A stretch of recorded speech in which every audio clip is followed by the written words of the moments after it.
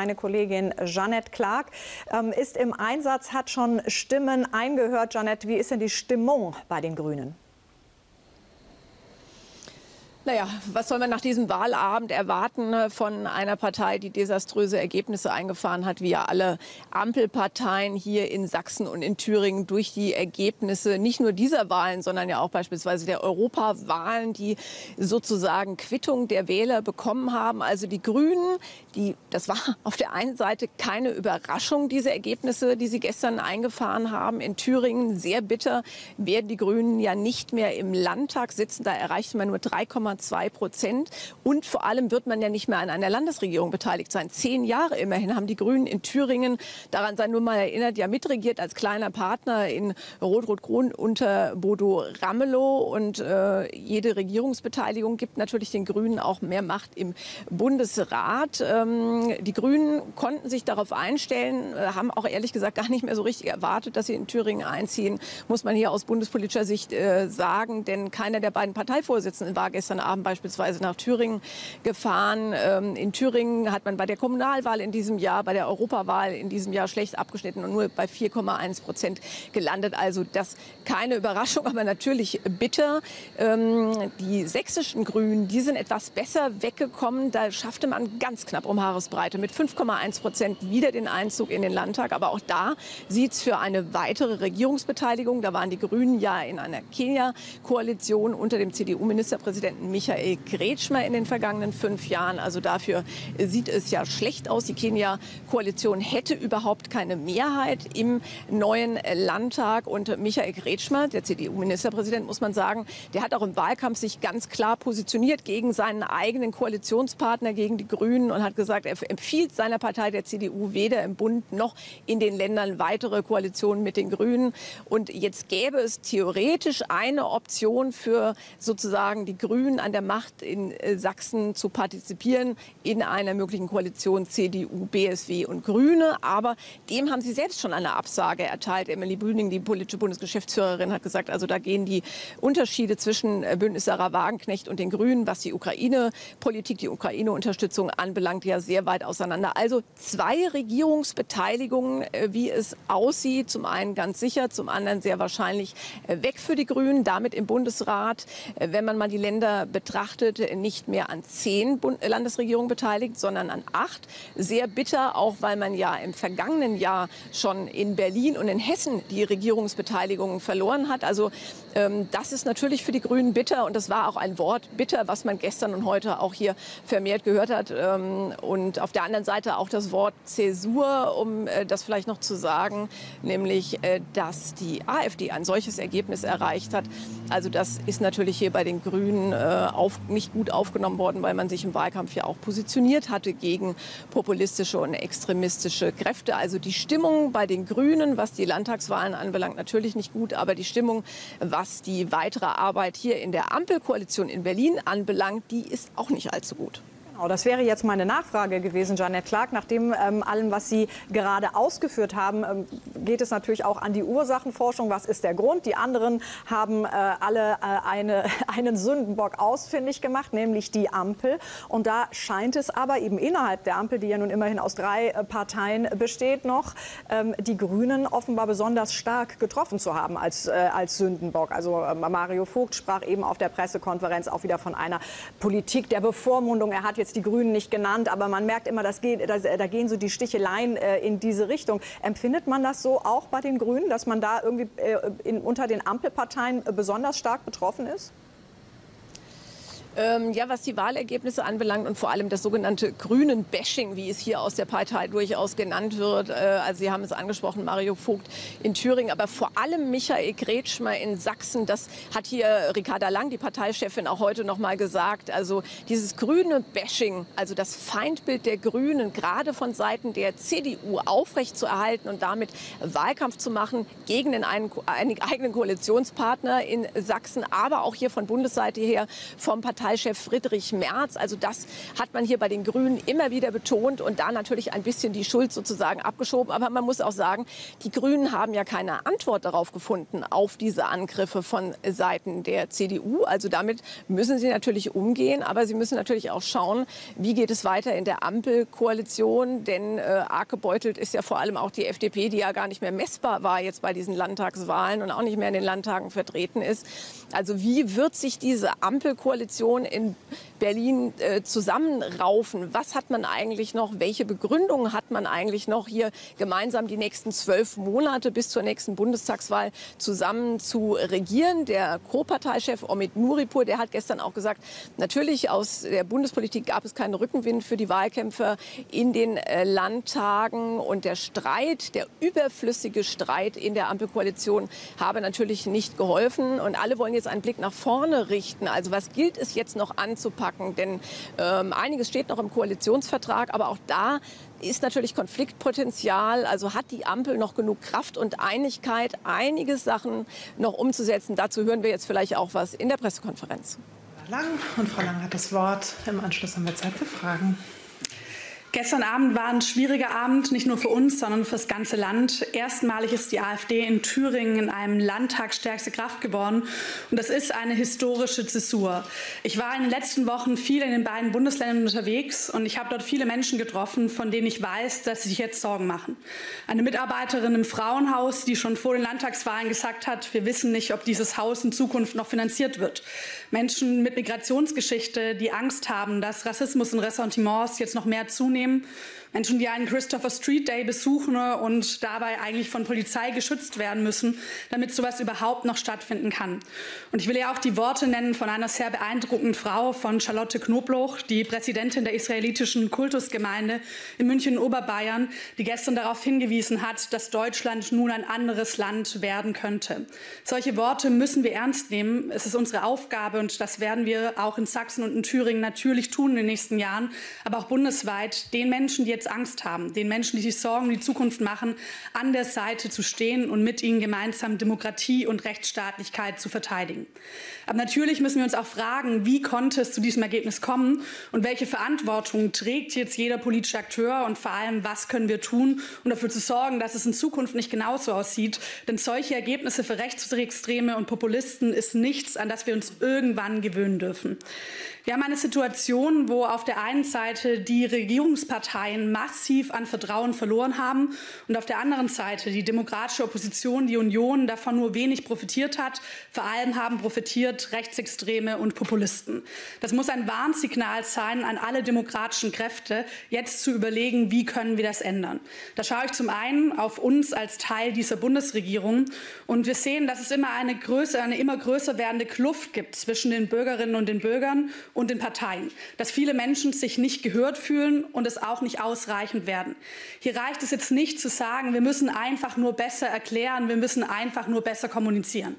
Offensichtlich haben wir es nicht geschafft, in einer Zeit, die für viele Menschen mit Unsicherheit verbunden ist, wo man weiß, dass viel Vergangenes abgeschlossen ist, aber noch nicht, wie eigentlich die Zukunft aussehen soll, den Menschen die notwendige Stabilität zu geben. Die Ära Merkel ist zu Ende gegangen, die für viele mit Stabilität verbunden war. Einiges Neues wurde auf den Weg gebracht, aber es ist nicht gelungen, diese neue Stabilität zu schaffen. Und das ist die Aufgabe, vor der wir jetzt stehen. Da müssen wir auch inhaltlich liefern. Ich will einen Bereich dabei als Beispiel in den Blick nehmen, und das ist die soziale Sicherheit. Wenn bei einem Wahl soziale Sicherheit für viele Menschen eines der entscheidenden Themen war und gleichzeitig Rechtsextreme und Populisten gewinnen, alle Parteien, die in der Regierung vertreten sind, verlieren, dann ist das ein großes. Problem. Und dann müssen wir hier schauen, wie wir mehr Sicherheit geben können, gerade wenn es um Fragen geht, wie bezahlbar ist eigentlich mein Leben. Also kann ich mir meine Miete noch leisten? Kann ich mir den Wochenendeinkauf leisten? Reicht mein Lohn dafür aus? Und ich glaube, bei diesen Fragen sehen wir, dass wir den Anforderungen nicht gerecht werden innerhalb der ähm, Bundesregierung. Das muss sich auf jeden Fall ändern. Gleichzeitig tragen alle demokratischen Parteien Verantwortung in dieser Situation. Und ich möchte hier auch auf die Union schauen. Dabei geht es mir gar nicht darum, wer ist nett zu wem oder wer ist fies zu wem. Das hält man alles aus im Wahlkampf. Sondern es geht darum, Strategien zu analysieren, ob, zu schauen, ob sie funktionieren. Die Union hat insbesondere in Sachsen mit Michael Gretschmer sich darauf fokussiert, in den Wettkampf der Populisten einzutreten, in der Hoffnung, damit Populisten und rechtsextremen Wählerstimmen abluchsen zu können. Das hat, wenn man sich die Ergebnisse Ergebnisse der AfD anschaut, und auch des BSW nicht funktioniert. Es hat aber die demokratische Mitte geschwächt und es hat auch zu Wahlergebnissen geführt, die jetzt unfassbar schwierige Regierungsbildung nach sich ziehen, wo eigentlich kaum noch demokratisch stabile Mehrheiten vorhanden sind, sondern in sehr, sehr schwierige Verhandlungen eingetreten werden muss. Ich wünsche allen Beteiligten dabei viel Erfolg. Ich will aber auch sagen, es sollten zwei Dinge sehr klar gelten. Erstens, wir haben viele Stimmen gehört, gerade auch aus den Bundesländern im Osten innerhalb der letzten Wochen, die Angst davor haben, was passiert, wenn Rechtsextreme an Macht gewinnen. Übrigens auch aus der Wirtschaft, wo viele Unternehmen davor gewarnt haben, dass eine rechtsextreme Machtanteilnahme in welcher Form auch immer dazu führen könnte, dass kaum noch Fachkräfte gefunden werden, dass es zu einem wirtschaftlichen Abschwung kommt in diesen Bundesländern, wo eigentlich gerade das Potenzial für den wirtschaftlichen Aufschwung liegt. Hier muss klar sein, auch aus diesem Grund, aber auch aus vielen, vielen anderen, dass es keine Zusammenarbeit mit Rechtsextremen geben darf. Zweitens, und Richard Kretschmer hat schon seine Offenheit dafür gezeigt, mit dem BSW zu verhandeln. Und verhandeln wird man auch müssen in den schwierigen Situationen in den Bundesländern aber hat doch Sarah Wagenknecht während des Wahlkampfs sehr klar gemacht, dass die Voraussetzung für eine gemeinsame Koalition für sie das Ende der Unterstützung der Ukraine ist. Hier trägt die Union über diese Bundesländer hinweg Verantwortung, auch mit Blick auf ihre eigene außenpolitische Glaubwürdigkeit. Man könnte sogar sagen, auf ihre eigene DNA. Das ist klar, in den, in den Koalitionsverhandlungen, in Regierungsverhandlungen darf es nicht dazu kommen, dass die Solidarität mit der Ukraine aufgekündigt wird und dass die Ukraine zum Opfer dieser Koalitionsverhandlungen gemacht wird. Ich weiß, dass es sicherlich viele Fragen gibt, was das Thema Landtagswahlen angeht. Natürlich ist das auch für mich heute das bestimmende Thema. Aber ich möchte noch ein weiteres ansprechen. Mich hat am Wochenende eine Nachricht erreicht, die mich persönlich sehr getroffen hat. Und zwar, dass sechs weitere Menschen, die von der Hamas verschleppt und gefangen gehalten wurden, ermordet aufgefunden wurden. Meine Gedanken sind bei ihren Familien und bei ihren Freunden, die monatelang auf bessere Nachrichten gewartet haben, die gehofft haben und die jetzt diesen Tod verarbeiten müssen. Unter ihnen ist auch Kamel Gatt, für die ich eine politische Patenschaft übernommen hatte. Ich hatte gestern mit ihrem Bruder, mit dem ich immer wieder in Kontakt war, gesprochen, habe ihm mein Beileid ausgesprochen, auch mein Beileid an die ganze Familie weitergegeben.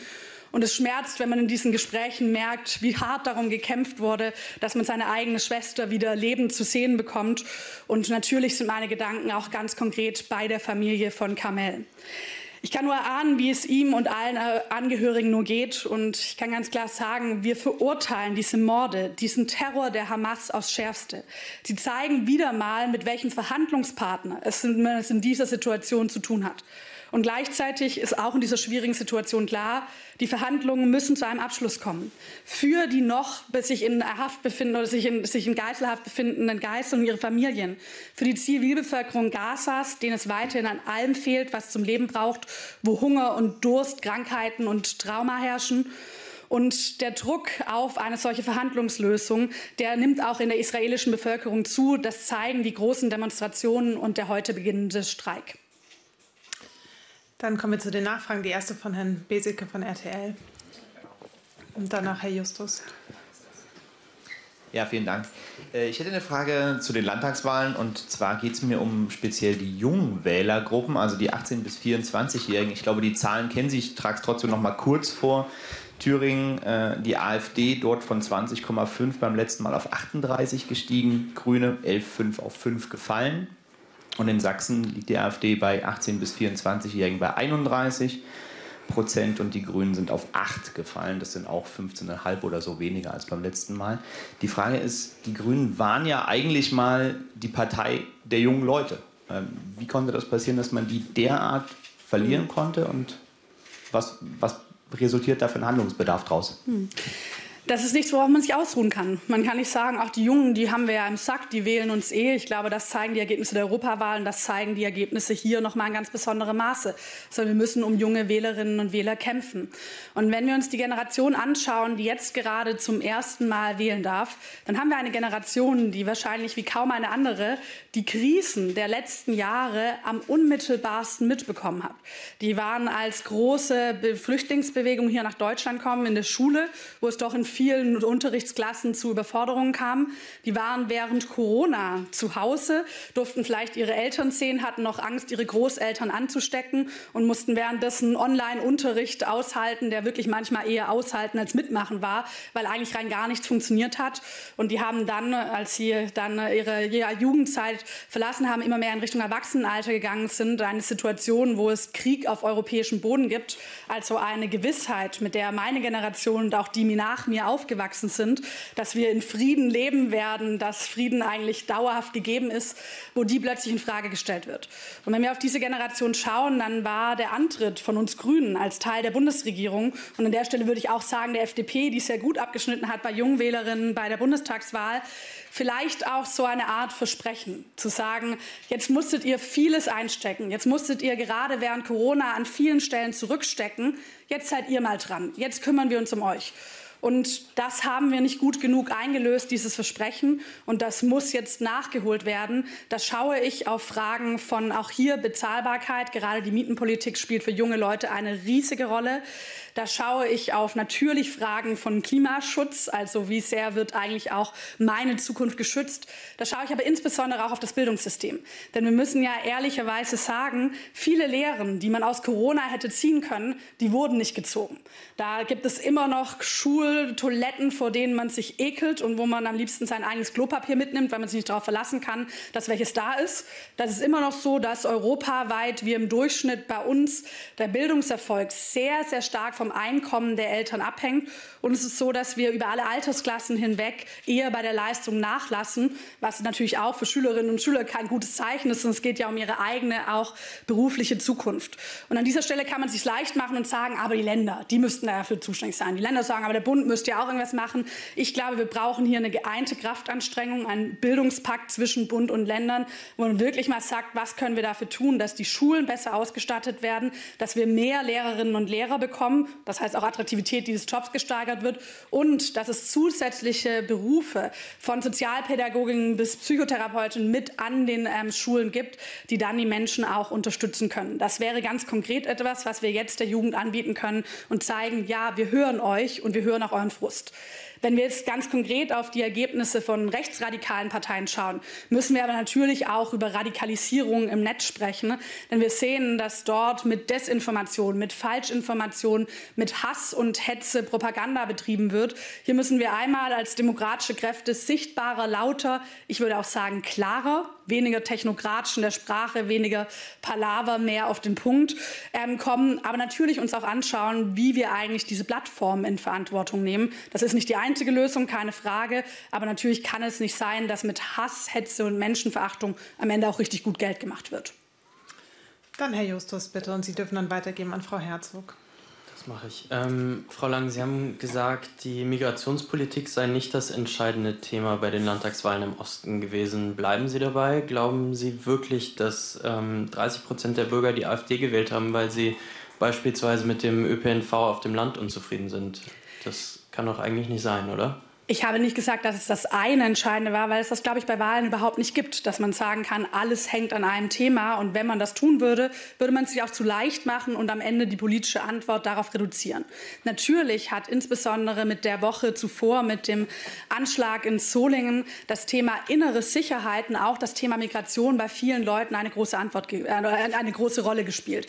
Nicht umsonst haben wir in der letzten Woche immer wieder Vorschläge gemacht, wie wir hier vorankommen können. Also mit Blick darauf, auf der einen Seite unsere Sicherheitsbehörden besser auszustatten, damit sie tatsächlich auch ihren Job machen können, ohne dass junge Polizisten davon erzählen, dass sie hunderte Überstunden machen und gar nicht mehr wissen, wie sie diesem Job gerecht werden können.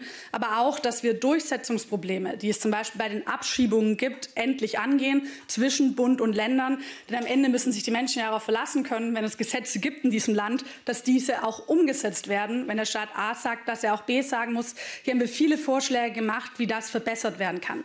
Was für mich ganz wichtig ist, sowohl wenn ich auf die Debatte schaue, als auch auf Gespräche, die ja in den nächsten Wochen auch hier stattfinden werden, ist, dass wir uns in der Demokratie die Kraft zur Differenzierung erhalten. Denn am Ende müssen wir in der Lage sein, zu differenzieren zwischen islamistischen Straftätern, Terroristen, die hier Schutz suchen, am Ende aber den Schutzanspruch missbrauchen, um schwerste Gewalttaten zu begehen, Menschen zu vergewaltigen, Menschen zu töten, ne, die ihren Schutzanspruch damit verloren haben und die in aller Härte bestraft werden sollten. Und den Menschen, die hier Schutz suchen, ne, die hierher kommen und die sich in die Gesellschaft integrieren, die Teil dieser Gesellschaft werden und die diesen Schutzanspruch auch weiter haben. Und ich glaube, diese gewisse Kraft der Differenzierung zu unterscheiden zwischen denen, die den Anspruch ausnutzen und denen, die ihn haben, zwischen denen, die ähm, Straftaten begehen und denen, die hier Teil dieser Gesellschaft werden. Das ist unfassbar wichtig.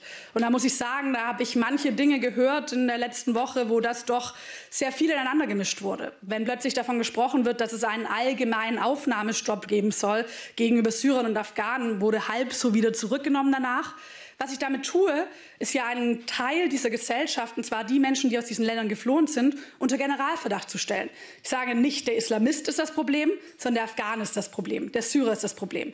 Was daran so schwierig ist, ist, dass wir ja genau die Menschen, ne, auch Muslime und Muslimas, die sich hier in diesem Land integrieren, die Teil dieser Gesellschaft sind, brauchen im Kampf gegen den Islamismus.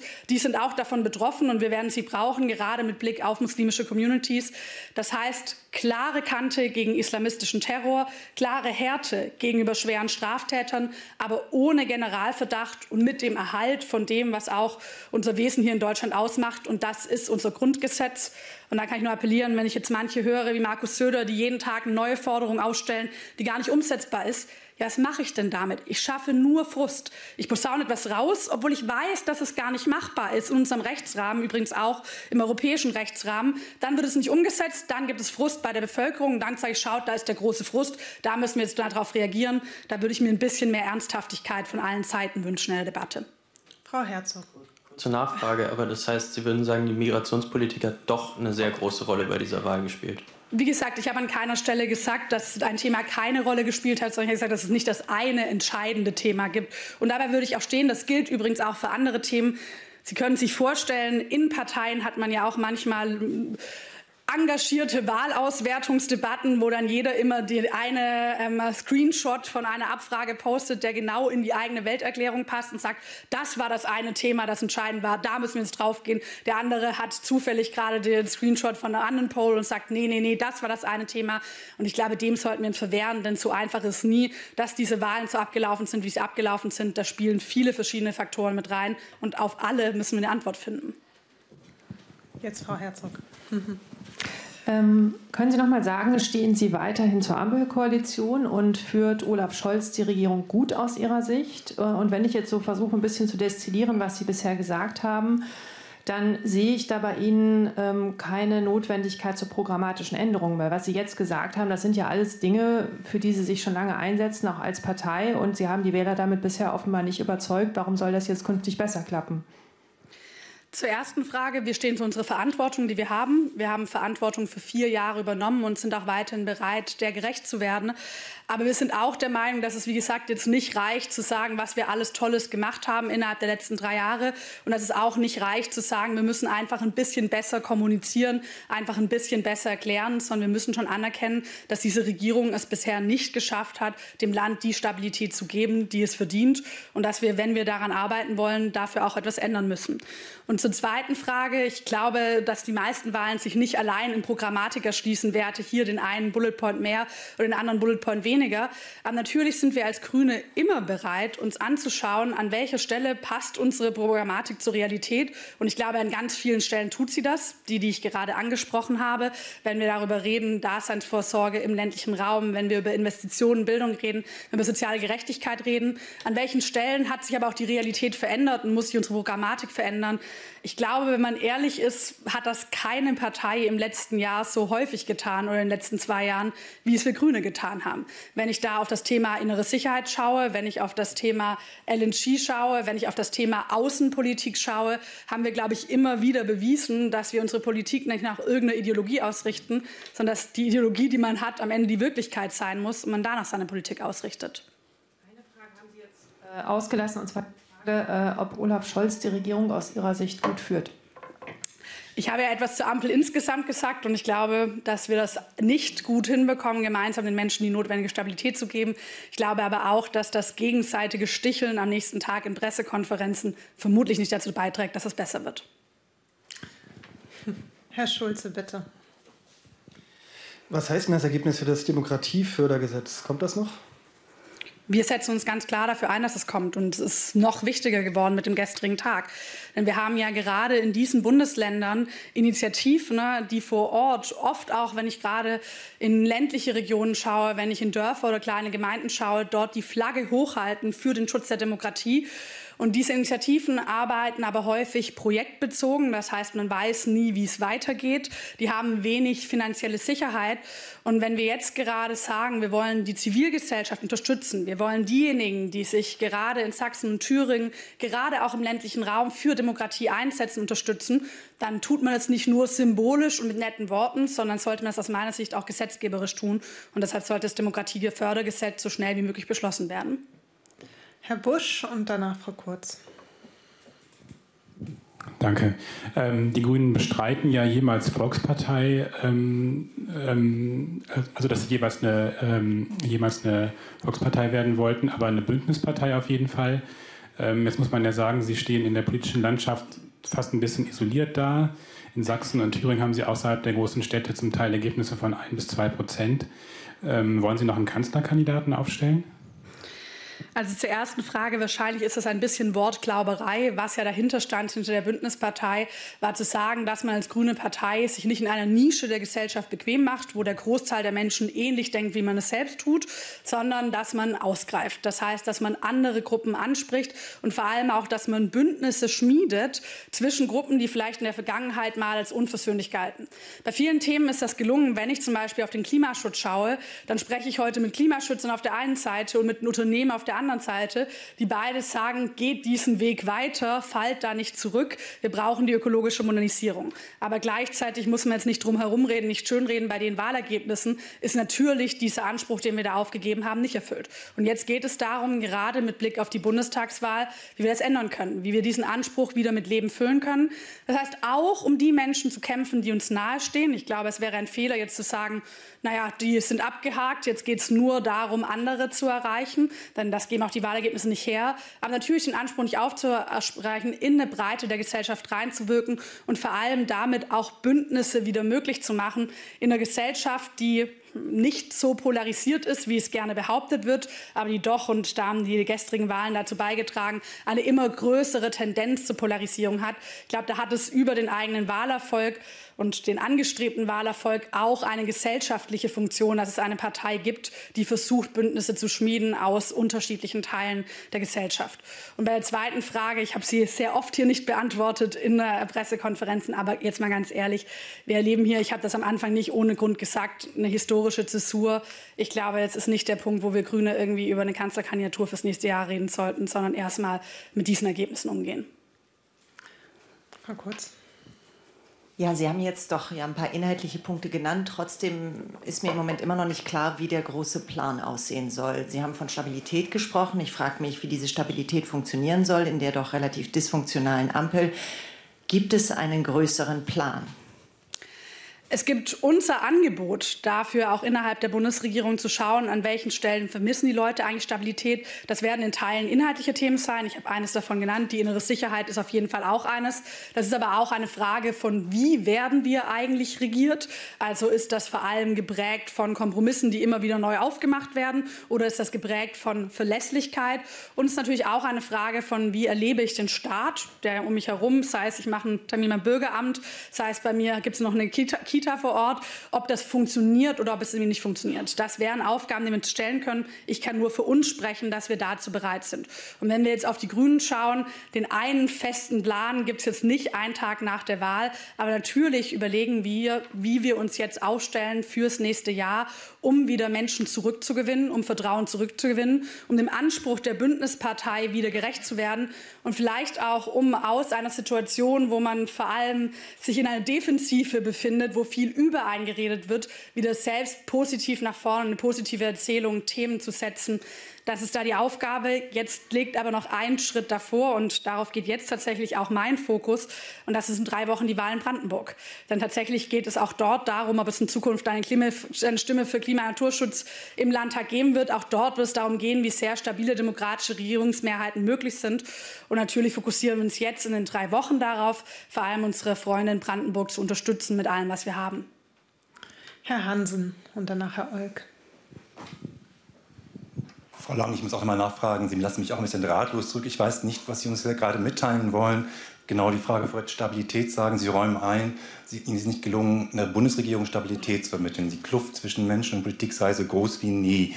Ich höre aber nichts gerade, was Sie eigentlich ändern wollen. Gerade eben sagten Sie, die Grünen seien bereit zu was? Was konkret wird sich in der Bundesregierung ändern, im Regierungsstil oder auch an Handeln, um diese Kluft zu verringern? Und die zweite Frage, welchen konkreten Beitrag haben eigentlich die Grünen jetzt äh, in Ostdeutschland geleistet für dieses oder eingefahren für dieses Ergebnis? Was heißt das auch für die Bundespartei? Mhm. Da wird immer berichtet, dass gerade den Grünen wirklich Ablehnung bis zu Hass entgegenschlage in Ostdeutschland. Und wie erklären Sie sich das und droht nicht das Ganze dann auch rüber zu schwappen nach Westdeutschland und Ihre weiteren Wahlaussichten massiv zu beeinträchtigen? Mhm. Also erstens, was muss sich eigentlich ganz konkret ändern? Ich glaube, die Menschen haben keine Lust auf Durchhalteparolen, wo ich jetzt sage, in der Ampel muss besser zusammengearbeitet werden, wir müssen alle netter zueinander sein, was sich dann als falsche Versprechung erpuppt. Deshalb werde ich hier jetzt auch keine Versprechung machen. Ich kann sagen, von unserer Seite aus, was sich ändern müsste, wäre, dass man miteinander in Stabilität arbeitet, dass man sich auf ein paar wesentliche Themen konzentriert, dort Kompromisse miteinander einhält. Und das heißt, den Menschen die Sicherheit, die sie ja oft in ihrem Alltag suchen, auch im Regierungshandeln gibt. Das heißt, hier wäre das A und O für mich Verlässlichkeit. Dass Kompromisse nicht immer wieder aufgemacht werden, dass wir zu den Entscheidungen stehen, die wir getroffen haben, dass wir schnell und zügig umsetzen. Das wäre ein Bereich, den man ganz konkret ändern kann. Ich kann nur unsere Bereitschaft dafür signalisieren, aber wie gesagt, werde hier nicht in Beschwörungstyranneien verwandeln, die dann am Ende gegebenenfalls nicht eingelöst werden. Das Zweite, was ich auch schon angesprochen habe, ist die ganze Frage, wenn wir jetzt auch über den Haushalt sprechen, schaffen wir es eigentlich in die Bereiche zu investieren, die notwendig sind, damit die Menschen eine stärkere soziale Sicherheit erfahren.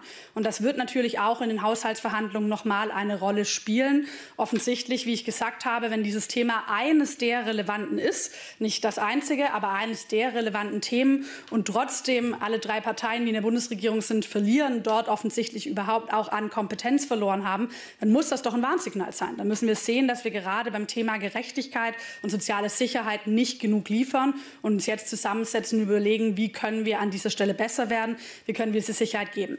Und das Dritte ist die Frage auch der Art der Politik. Und ich glaube, ich habe zu Beginn gesagt, viele Menschen fühlen sich nicht gehört und werden es auch zu wenig. Das ist natürlich auch eine Frage von, wie geht man eigentlich auf Menschen zu. Wie gesagt, sagt man einfach besser erklären und dann wird das schon, dann hören die schon oder hören wir auch den Menschen mehr zu. Holt man sich mehr Expertise auch aus der Bevölkerung mit rein in die Politik, ist auch bereit, dafür neue Formate auszuprobieren. Wir haben das angekündigt bei der Europawahl und das gilt nach wie vor. Das ist etwas, was man nicht vielleicht in fünf, sechs, sieben Wochen umsetzt, aber was eigentlich die Aufgabe sein muss, dort auch eine andere Politik des Gehörtwerdens umzusetzen. Das gilt für uns als Bundesregierung, aber es gilt eben auch für uns als Grüne ganz konkret. Und das sind natürlich Punkte, wenn Sie jetzt sagen, wie konnte es dazu kommen, dass die Grünen in dem Maß Hassobjekt sind bei dieser Wahl, spielen natürlich auch die Punkte rein. Ich finde, als erste Stelle muss man überlegen, was können wir besser machen. Wir haben eine ausführliche Auswertung zur Europawahl gemacht. Das war genau der Punkt, eine Politik des Gehörtwerdens stärker voranzubringen, die Menschen damit auch in ihren Sorgen ernst zu nehmen. Das war ein Punkt mit jungen Wählerinnen und Wählern, noch viele andere. Aber man muss auch sagen, wenn man auf diese Wahl gerade schaut, dann ist das natürlich etwas, was auch von anderer Seite und nicht nur von extremer Seite, da ist es vollkommen klar, dass mit Feindbildern agiert wird, aber in diesem Fall natürlich auch von demokratischen Mitbewerbern Feindbilder und Vorurteile immer wieder geschürt werden. Wir müssen uns überlegen, wie wir diese Vorurteile vorbeugen, wie man eben auch bestimmte Fehler nicht macht, wie man sehr klar zeigt, wir sind klar in den Zielen, aber auch pragmatisch im Weg. Ich würde aber auch an den politischen Mitbewerber appellieren, eine Politik, die vor allem Feindbilder schürt, die hilft am Ende nicht der demokratischen Mitte, übrigens keiner Partei davon, sondern die hilft denen, die eigentlich die demokratische Kultur immer wieder angreifen, den Populisten, den Rechtsextremen. Da geht es nicht darum, dass irgendjemand nett zu jemand sein muss. Wir können alle harten Wahlkampf ausfallen. Aber ich glaube, wenn Feindbilder irgendwann bei Menschen fast zu Angst führen, zu Hass, zu einer vollkommen verqueren Wahrnehmung der Realität, dann wäre es doch eine demokratische Aufgabe, dem gegenzuwirken. Letzte Frage von Herrn Euk, dann kommen wir zum Ende. Frau Lange auch noch mal zur Ampel. Sie haben das gesagt, das ist äh, kein Kommunikationsproblem allein mehr, sondern es muss mehr geliefert werden. Die Frage ist ja, wie hoch ist die Wahrscheinlichkeit, dass das klappt? Da haben Sie gerade von, äh, davon gesprochen, Sie wollten keine Beschwörungstyrannei hier ähm, äh, vorlegen. Omid Nuripo hat gestern an gleicher Stelle gesagt, sein Glaube, dass es noch mal besser wird in der Ampel, sei zuletzt nicht gewachsen.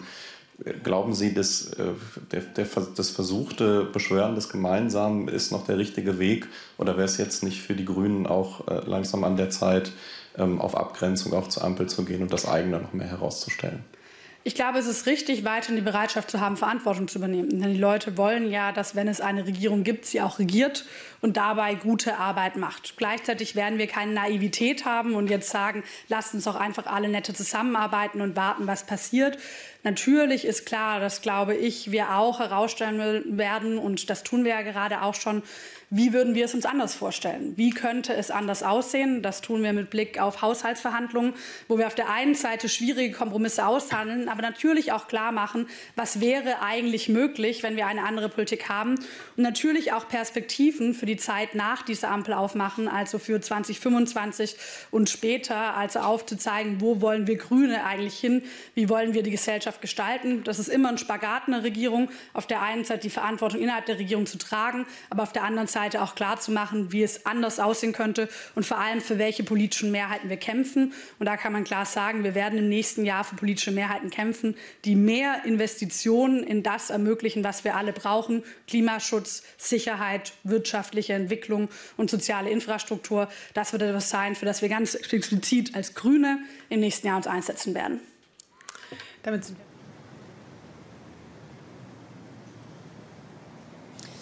Ja, ob das umsetzbar sein wird, äh, wofür die Grünen sich innerhalb der Ampel stark machen äh, werden, da wird auch ja sehr, sehr viel am Bundeshaushalt hängen. Wir erinnern uns noch mal zurück. Äh, wochenlang hatten die drei Ampelkoalitionäre Olaf Scholz, Robert Habeck und Christian Lindner sich über den Haushaltsentwurf 2025 gebeugt, äh, hatten dann einen Kompromiss gefunden, dass er so erstmal in den Bundestag eingebracht wird. Dann wurde das Ganze noch mal aufgemacht. Fakt ist, in der nächsten Woche beginnt die Haushaltswoche im Bundestag zum Bundeshaushalt 2025. 2025 und es ist immer noch eine zweistellige Deckungslücke in diesem Bundeshaushalt. Natürlich kann im parlamentarischen Verfahren noch was verhandelt werden, aber genau da stößt ja die Ampel sozusagen auch an ihre Grenzen. Wofür will sie gemeinsam noch Geld ausgeben? Wie viel Geld ist überhaupt noch da für das, was Chris, äh, Ricarda Lang hier angesprochen hat, also für mehr soziale Sicherheit, für Daseinsvorsorge auf dem Land? Da hörte man doch schon einiges durch, dass die Grünen sich durchaus auch zwar zum einen bekennen zur Ampel, aber auch sich durchaus schon absetzen. Das hatte ja auch Omid Nuripur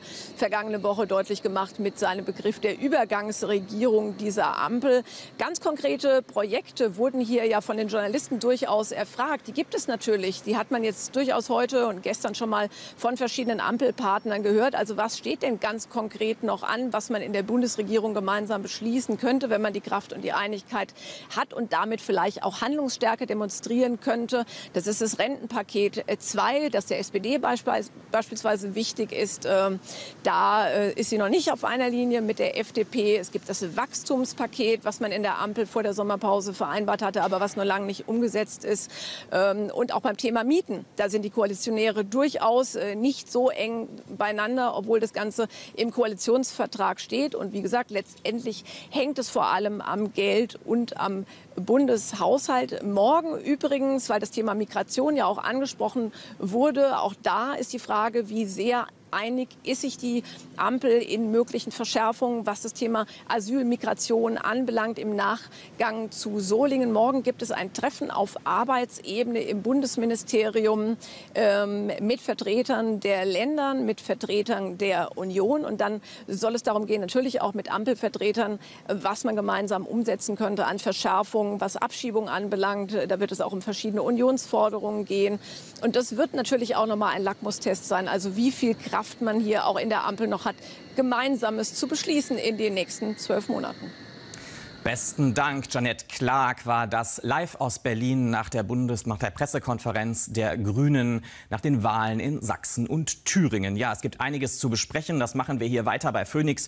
Bei mir im Studio ist Professor Frank Decker, Politikwissenschaftler von der Universität Bonn. Guten Nachmittag, Herr Decker. Mm, jetzt haben wir die äh, Grünen-Vorsitzende gehört mit der Wahlanalyse der Grünen und auch unsere Korrespondentin hat das eingeordnet. Ähm, die äh, Vorsitzende Ricarda Lang hat viel gesprochen, auch über Fehler aus der Corona-Politik, über die Nahostpolitik. Haben Sie den Eindruck gehabt, dass wirklich die Wahlen in Sachsen und Thüringen im Vordergrund standen? Zugespitzt gefragt, haben die Grünen das Wahlergebnis schon verdaut?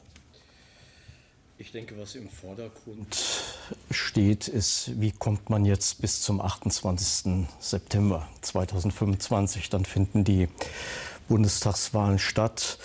Äh, und was man rausgehört hat, ist doch eine große Portion Rat und Hilflosigkeit. Äh, auf der einen Seite gibt es natürlich noch eine Reihe von Dingen, auch im Koalitionsvertrag verankert, äh, die abgearbeitet werden müssen. Äh, der Haushalt ist ja noch lange nicht durch. Also es kann durchaus sein, dass jetzt auch im parlamentarischen Verfahren äh, wieder Konflikte äh, aufbrechen. Und der Glaube, dass was das Management dieser Konflikte, auch Stichwort permanente Streitigkeiten, dass das besser wird in den jetzt noch vor, bevorstehenden 13 Monaten, äh, der scheint eben auch bei der grünen Vorsitzenden äh, abhanden kommen zu sein. Man, man, versucht gar nicht mehr, das schön zu reden und ja. zu sagen, es wird besser. Also Ricarda Lang versucht das gar nicht mehr. Äh, was sagt das eigentlich über den Zustand der Ampel und auch äh, der Grünen? Sie hat ja eben auch äh, mit Blick auf das, was dann nach der Bundestagswahl kommt, von der Zeit nach der Ampel gesprochen. Also eigentlich das aufgegriffen, was ihr Co-Vorsitzender schon gesagt hatte, dass die Ampel nur eine ähm, Übergangsregierung ist. Das sind natürlich denkbar schlechte Vorzeichen auch äh, für den Wahlkampf. Aber wir haben das eigentlich bei der Ampel schon gesehen im ersten Regierungsjahr im Zuge der sich verschlechternden äh, Umfragewerte, dass äh, die Vertrauensgrundlage eigentlich weggebrochen war und alle Akteure dann äh, auf eigene Rechnung äh, gearbeitet haben. Und das ist vielleicht auch ein Vorwurf, den man noch den Grünen am wenigsten machen kann. Aber es hat sich eben für sie auch nicht ausgezahlt. Wenngleich, das muss man immer sehen, Ostdeutschland ist für sie sowieso ein schwieriges äh, Terrain. Wenn sie aber die Bundes weiten Umfragen nehmen, stehen die Grünen von den drei Partnern ja immer noch am relativ besten da, selbst äh, wenn die Werte eben auch deutlich zurückgegangen sind. Mhm. Äh, Ricarda Lang hat jetzt gesprochen von einer historischen Zäsur. Das war sicher äh, bezogen darauf, dass die AfD erstmals in einem Landesparlament stärkste Kraft geworden ist in Thüringen. Und die Grünen wollen jetzt mehr soziale Themen in den Vordergrund rücken. Ist das aus Ihrer Sicht als Politikwissenschaftler die richtige Analyse an dieser Stelle oder hat das, äh, ja, die Misere bei den Grünen auch noch andere Ursachen? Das ist natürlich ein naheliegender Rat, äh, solche Themen auch in den Vordergrund äh, zu stellen, bei denen einem selber dann auch eine größere Kompetenz äh, attestiert wird von Seiten der Wählerschaft. Ähm, allerdings kann man ja andere Themen damit nicht ohne weiteres verdrängen. Also das Stichwort Migration spielt hier natürlich eine große Rolle und man muss natürlich auch immer sehen, dass die Themen miteinander verknüpft sind. Also gerade beim Migrationsthema sehen wir ja, wenn wir jetzt die Diskussion um das Bürgergeld haben. Das ist eigentlich jetzt ein Verliererthema geworden für die linken Parteien, für die SPD und äh, für die Grünen, ähm, weil es eben auch darum geht, wer ist anspruchsberechtigt äh, beim Bürgergeld. Und äh, da ist natürlich jetzt nicht die Migration die Mutter aller Probleme, wie Höcke immer sagt, aber natürlich ist die Migration auch mit solchen Fragen äh, verknüpft. Und äh, da sind die Grünen in der Defensive, genauso wie sie bei ihrem anderen großen zentralen Thema ähm, äh, in der Defensive sind, wo ihnen ja auch eine Kompetenz zugeschrieben wird bei der ökologischen Transformation. Denn auch hier die ökologische Transformation, man spricht ja manchmal auch von der sozialökologischen Transformation, ist natürlich mit den sozialen Fragen aufs engste verknüpft. Und die Grünen müssen sich selber fragen und fragen lassen, ob sie nicht diese soziale äh, Dimension der ökologischen Frage total äh, unterschätzt haben. Um das nur an einem Beispiel festzumachen, es war ja auch versprochen worden, dass man ein Klimageld äh, einführt, um eben Härten dort ja. abzumildern. Und äh, darauf ist man nicht mehr zurückgekommen und wird man vermutlich auch nicht mehr äh, zurückkommen. Also hier können die Grünen ihre soziale Kompetenz gerade nicht ausspielen. Mhm. Sie haben das Thema Migration auch gerade angesprochen. Nun soll ja morgen da ein Treffen stattfinden äh, mit Vertretern der Bundesregierung und auch mit Vertretern der Union. Es gab auch jetzt vor diesem Wahlwochenende schon ein Migrationspaket, was die Ampel vorgelegt hat, wo es auch um das Thema Abschiebungen ging. Für die Grünen kein leichtes Thema, wo man sich auch bisher dagegen sperrt, zum Beispiel äh, weitergehend auch abzuschieben in gewisse Länder oder die auch mit einer Neubewertung der Lage mit dem Auswärtigen Amt so zu definieren, dass es leichter wäre. Wie sehen Sie das auch mit Blick jetzt auf die anstehenden äh, Gespräche zum Thema Migration? Müssen sich die Grünen da verbiegen? Bleibt ihnen überhaupt eine andere Wahl? Zerreißt es da auch irgendwann eine grüne Partei? Es hat ja in der Vergangenheit darüber auch schon Konflikte gegeben, etwa wie man sich jetzt zu den äh, Maßnahmen auf der europäischen Ebene äh, verhält. Aber ich glaube, die Grünen werden hier stärker noch stärker unter Druck äh, gesetzt werden. Sie können sicherlich reklamieren, weil die SPD an der Stelle dann auch mitgeht, dass man keine Dinge macht, die offensichtlich verfassungswidrig sind. Aber ich glaube, und das wird die Union jetzt versuchen, Stichwort äh, Zurückweisung an den Grenzen, äh, dass man sich da auch von grüner Seite weiter auf diese skeptischen und defensiven Positionen zubewegen muss interessante Aspekte, die wir jetzt gleich weiter besprechen. Frank Decker, danke bis hierhin.